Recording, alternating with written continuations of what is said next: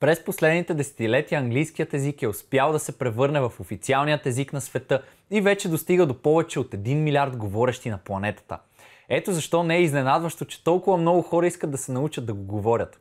А учебното помагало на Ивелина Казакова, английският език в лесни стъпки, може да ви послужи като самоучител за всеки един от вас, без значение дали сте напълно начинаещ или средно напреднал – Книгата включва 14 основни урока с упражнения и 7 комплекта от диалози, характерни за професионалното и личното ежедневие.